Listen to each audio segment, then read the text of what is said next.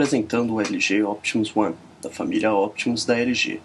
O LG Optimus One é um aparelho do tipo Candy Bar, ou seja, sem teclado físico.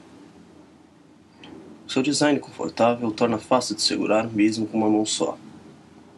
Os detalhes cromados nas laterais proporcionam um estilo diferente ao aparelho. Sua tela, de 3.2 polegadas, tem resolução de 480 por 320 pixels. O brilho o torna fácil de enxergar mesmo em ângulos diferentes. Os botões da parte inferior são físicos, não touch. Ainda assim, são muito confortáveis de usar. Na parte traseira, a câmera de 3.2 megapixels e o logotipo do Android, sistema operacional utilizado pelo aparelho.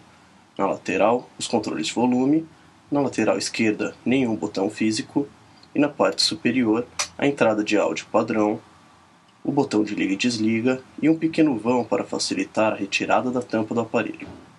Agora, vamos ver um pouco mais sobre o software do LG Optimus One.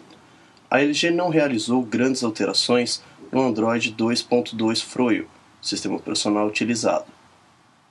Logo aqui embaixo temos o dial, o contato, o menu, as mensagens e a internet, com ícones de acesso rápido. Também na homepage inicial, alguns ícones de acesso que podem ser personalizados.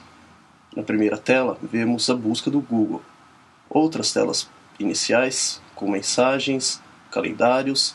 Ao todo, são cinco telas que podem ser personalizadas da maneira que você preferir. Este é o menu Dial para fazer a descagem. Este é o menu de contatos, também integrado com Facebook e Twitter para, para ficar ligado nas atualizações dos seus amigos. O menu principal é dividido em categorias como multimídia, comunicação e aplicativos diversos o LG Optimus One já vem com alguns aplicativos pré-instalados, como Facebook e Twitter. No aplicativo do Facebook é possível ver seu perfil, o seu mural de atualizações, as fotos de seus amigos, entre outras coisas. No menu principal, podemos acessar também o N-Drive, o aplicativo de GPS do LG Optimus One. Aqui nesse aplicativo,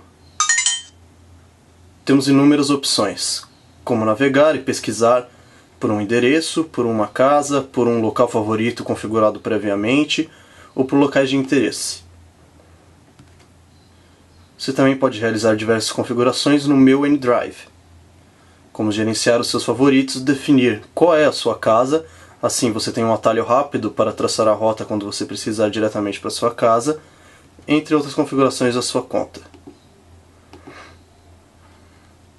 Vamos pesquisar um endereço para ver o funcionamento. Avenida Paulista, um endereço que a gente tentou localizar um pouco atrás para testar o equipamento. Número 500.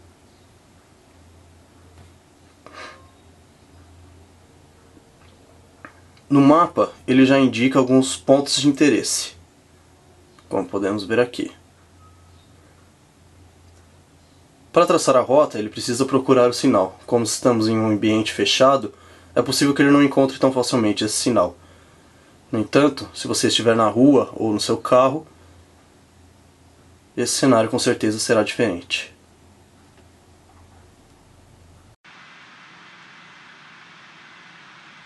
Outra ferramenta interessante também é a possibilidade de usar o LG Optimus One como um roteador Wi-Fi nas configurações de rede do aparelho, você pode definir ele como um ponto de acesso para compartilhar a sua conexão via Wi-Fi com outros aparelhos ou via USB. Assim, qualquer outro dispositivo compatível com Wi-Fi pode acessar a internet por ele mesmo. Esse é o LG Options One e essas foram algumas funcionalidades. Se quiser saber mais, acesse o blog com o um review completo e mais fotos do aparelho.